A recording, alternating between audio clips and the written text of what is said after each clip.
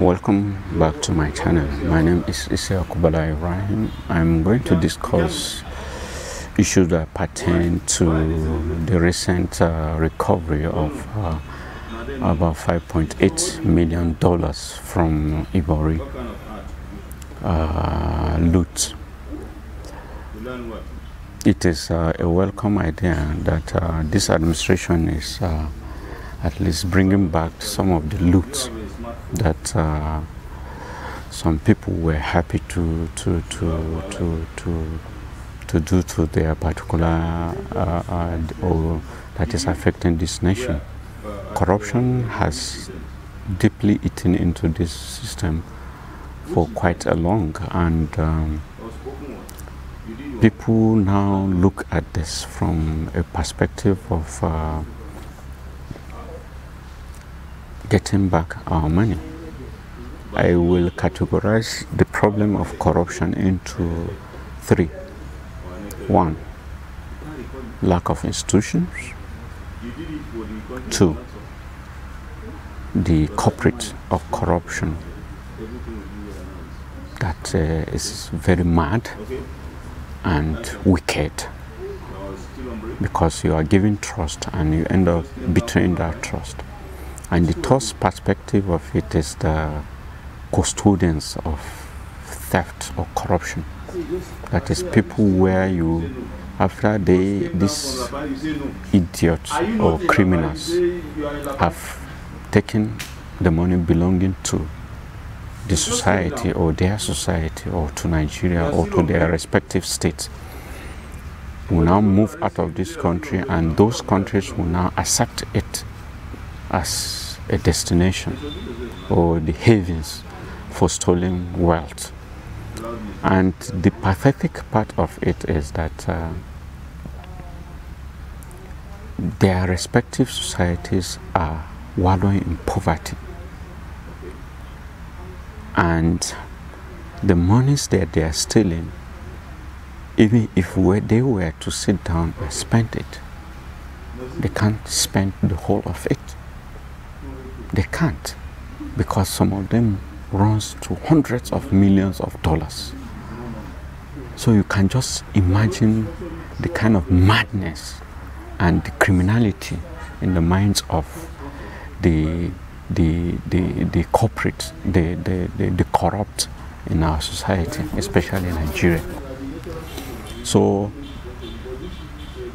the weak institutions we have is that uh, people steal and got scot-free. You become a governor or local government chairman.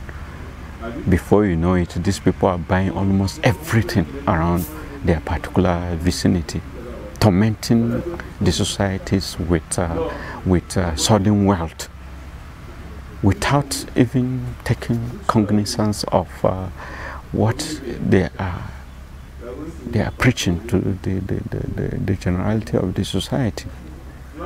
So, so, so, so it is a problem that uh, we ought to have the person that is offering the service to the society now engages in. So it's already a person with a, a, a syndrome of uh, corruption. There are cancers eating into our societies. So if they have conditioned their mind to wreck this society, to wreck the wealth of this nation,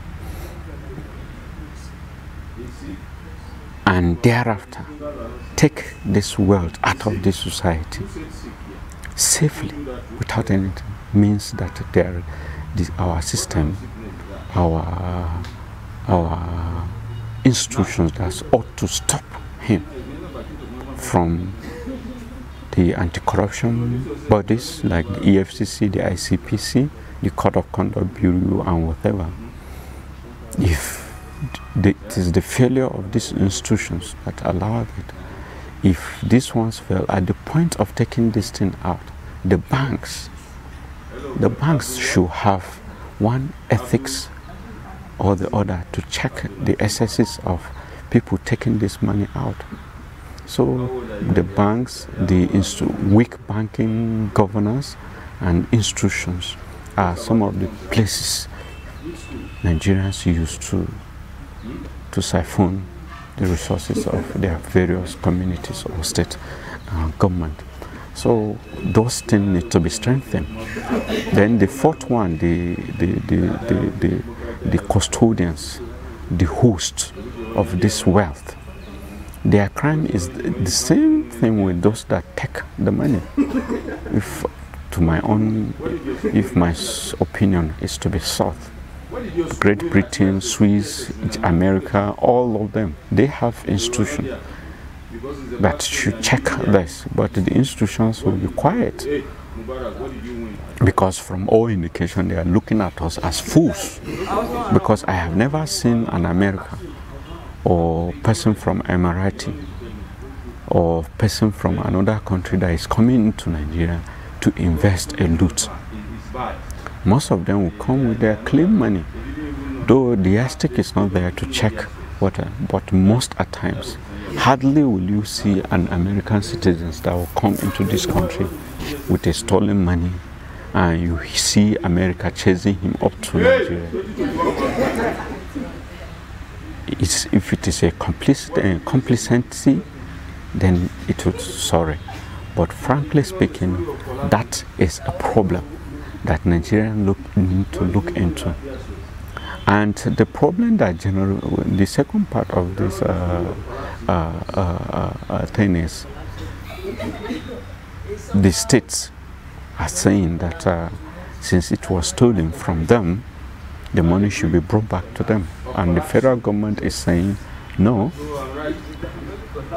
The agreement reached with Great Britain, which are the custodians of our stolen wealth, and shamefully they are not even ashamed of taking a, a poverty driven society's money and you keep it. Hmm? You will now keep it until the society now asks for it. If they do not ask for it, you become quiet.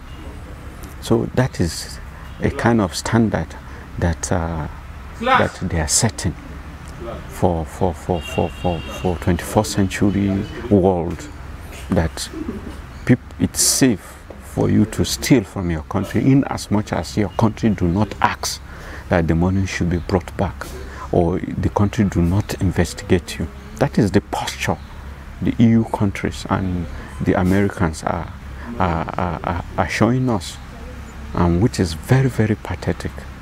It is just very unethical. And we look at those societies as a, a sin society but they look at there are double standard to this serenity in as much as it is not their money that is stolen it is safe especially countries like switzerland countries like uh, britain countries like united states they are these three biggest custodians of stolen wealth across the third world countries or developing nations they create heavens for this and I, I, don't blame them. They use this money to also to to run their, their their society. I'm not saying completely, but at least they benefit from this stolen wealth at the detriment of the poverty-driven third world countries or developing countries. So my take on it is that whatever it is, it is a lesson to any state that you should hold your citizens accountable after they are gone or after they leave their political seat. If you allow it to escape, it's either the white man enjoys your money and leave you with poverty, which your citizens cost, cost you, or the money will be brought back and be shared for the benefit of the generality of the, the, the, the country. It is a great lesson. So we should endeavor to appoint or elect leaders that are selfless, the leaders that will look at your money and give you service. So because you can just imagine Delta, is Delta not suffering from a lot of this? Go to those communities, not the cities. Go to some of their communities, you cry for them. These people are in a, in a serious dire need of uh, development. But a governor will take chunk of hundreds of millions of dollars and go and bury it and give it to the white man and they are enjoying, creating wealth within themselves. Even if it is 10 years that that money has spent in white man's land, imagine you investing 100 million or even this 5.7 million in two or three industries in Nigeria, you could have imagined, or even there, the impact you could have created for those people there. Is it not Tony um, uh, Elumelu that is, is giving entrepreneurs $5,000 at the end of it, and some of them are surviving with it? So imagine sharing that $5.8 million recovered from, from that and from, from the looted fund of, uh, from rivers let that money be shared to some few individuals that will create wealth and create small businesses in Delta. It will have gone a far way far, but they will take this money out of this country and go and bury it in white man's land. And now, since they are not around, or some investigation is going, the money is coming back and it's benefiting the whole country. So my advice to the respective states in Nigeria, both in North and South, whoever steals your money, you hold him responsible. The institutions should start working. The EFCC should begin to, should, should delve into the states or the, the respective uh, uh, uh, offices in the, in the whatever. Immediately a leader gets it done, he should be investigated. If he comes clean, fine that should be honored. But if he's found to be guilty of uh, corruption, then the, the, the court should take its uh, appropriate step.